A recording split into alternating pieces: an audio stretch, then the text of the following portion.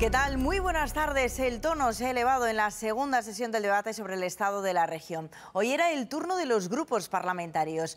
Más Madrid carga contra la presidenta y contra el Partido Popular de Madrid con acusaciones de corrupción. Díaz Ayuso le responde que la ultraizquierda vive de la pancarta y de las mentiras. Después turno del PSOE. Juan Lobato pide a la presidenta regional más inversión en educación, vivienda y sanidad y le reprocha el odio, dice, a Sánchez y el bloqueo institucional.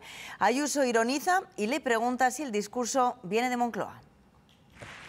También entre Vox y la dirigente popular Monasterio le exige que no asalte las instituciones y que se plante en política de inmigración. Ayuso acusa a los de Abascal de dar oxígeno a Sánchez. Más asuntos del día. Macrooperación policial contra los narcopisos de la calle Cullera en La Latina. La investigación se encuentra bajo secreto de sumario y no han trascendido apenas detalles.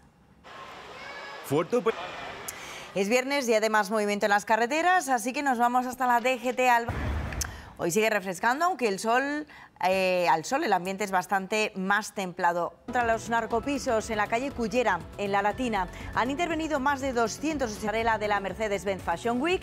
En esta segunda jornada hemos podido conocer las propuestas de Ángeles Lesser. Con... Tenemos muy Reproches también entre Vox y la dirigente popular Monasterio le exige que no asalte las instituciones y que se plante en política de inmigración. Ayuso acusa a los de Abascal de dar macrooperación policial contra los narcopisos de la calle Cullera en La Latina. La investigación se encuentra bajo secreto de sumario y no han trascendido apenas detalles. Fuerte. Y seguimos rodando, nos vamos hasta la DGT Alvariz. ¿Cómo está el tráfico este viernes? Aunque ha refrescado, el ambiente es templado al sol. Podemos despedir además la temporada de piscina sin problema porque durante el fin de semana los termómetros volverán a escalar. Hasta aquí el deporte, segunda jornada de la Mercedes-Benz Fashion Week Madrid. Marta. Pues sí, seguimos con muchísima moda. La pasarela de la moda española se ha abierto en la sesión de esta mañana con las propuestas de Ángeles Lesser, Isabel Sanchís y Aníbal Laguna. Será Malne quien cierre el desfile hoy en IFEMA. Aníbal.